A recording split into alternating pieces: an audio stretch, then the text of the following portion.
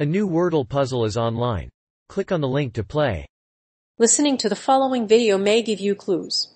Please like and share the videos. Trevor Noah at the White House Correspondents' Dinner. The satirical nature of the show makes it a perfect choice for the dinner, as it pokes fun at the politicians, media companies, and news organizations that occupy our national conversation. Noah blasted CNN and Jeffrey Toobin in his set, and even mentioned his own executive editor, Jeff Zucker, who resigned from the network in February.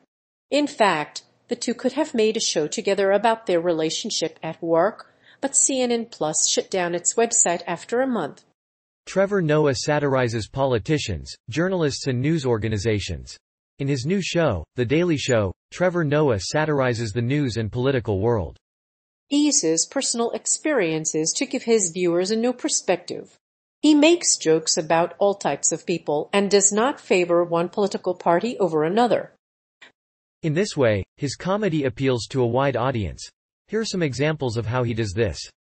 And Noah satirizes all parties at the White House Correspondents' Dinner also adheres to Pew's fourth core principle of journalism, which states that journalists must be objective. Noah is an expert at identifying and disseminating biased information. His questions, tone, and facial expressions are all carefully constructed to avoid overt bias. However, his satirical style can be criticized if it makes his own bias clear and despite the political satire. A number of television shows incorporate it into their content. The Daily Show with Trevor Noah, which airs on Comedy Central, is one example. Many other shows, including The Late Show with Stephen Colbert and The Daily Show with Trevor Noah, also make use of political satire to communicate their message. One of Noah's political satires has been Unson's Crossfire show in 2004, which was notorious for its heavy partisanship. Although the show does not offer objective news, it follows journalism's ideals, and he provides an excellent resource for the public. Noah serves as a community leader and curator of information. He balances his show's goals well, keeping things light and going in depth when necessary. He uses both comedy and news as an avenue for a deeper understanding of the world. There are many ways to approach it and enjoy the results. Biden criticizes Fox News coverage of pandemic.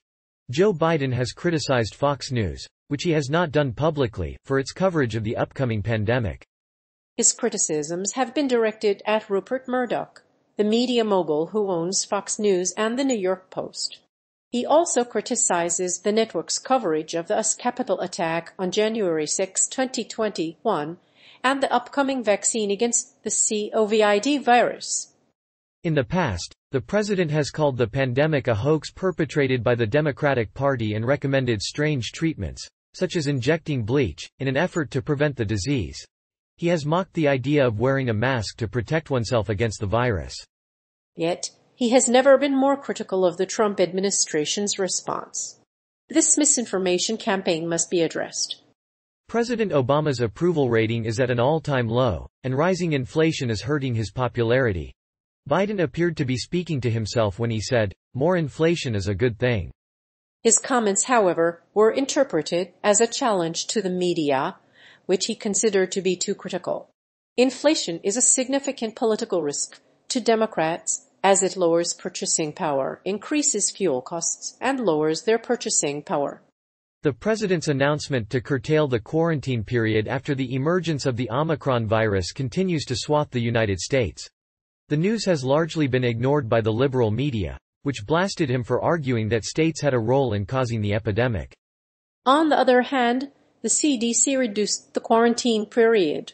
In both cases, the president lied to the American public. Trump's self-deprecating references.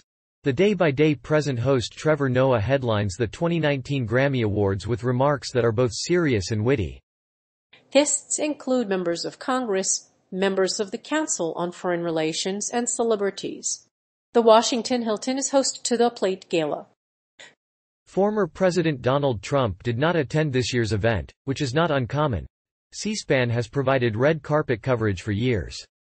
While Trump never attended the event, his successors stepped into the role. Presidents have long used jokes to humanize themselves and influence media narratives, but they are especially important at the White House Correspondents' Dinner. But Trump is unlikely to think of jokes that do not burn, because he is uncomfortable with journalists who he considers enemies of the American people. Nevertheless, Trump made a few funny jokes at this dinner.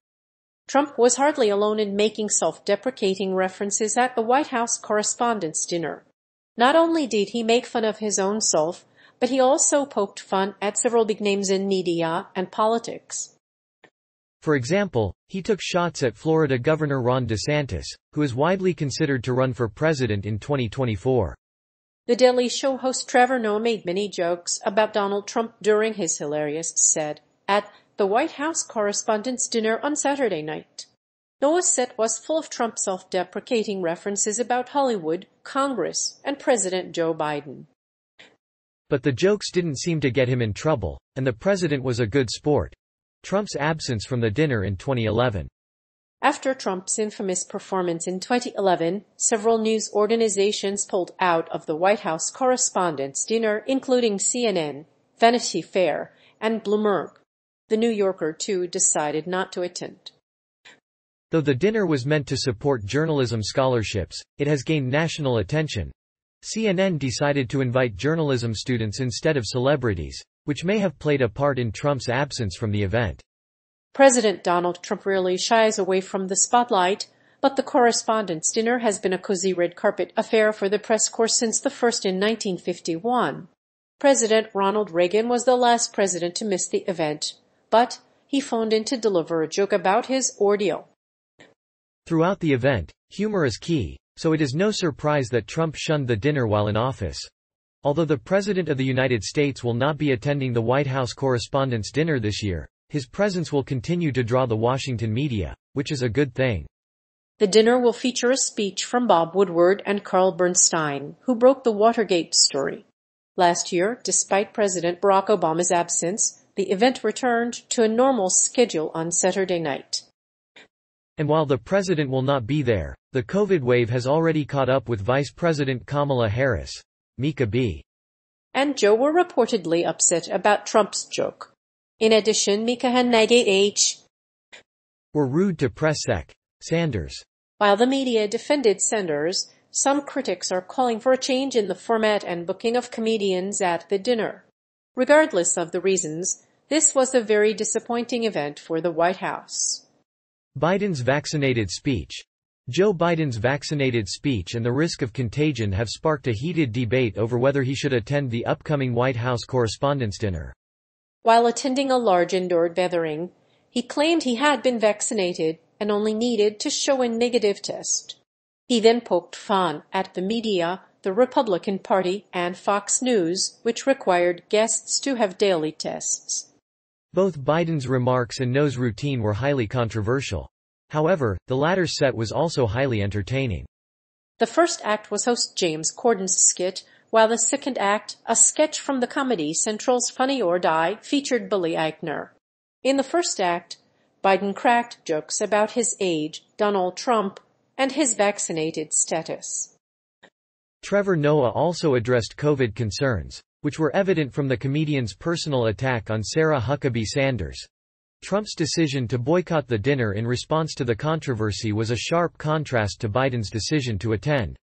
The president had declared the media enemy of the people, but he planned to attend the dinner as the massive invasion of Ukraine raged. Despite the political context, the event still attracted a large audience. Despite the raucous atmosphere, the president's vaccinated speech was an unimpressive introduction to his upcoming speech. While there are plenty of critics of Biden's speech, the event has returned, for better or worse.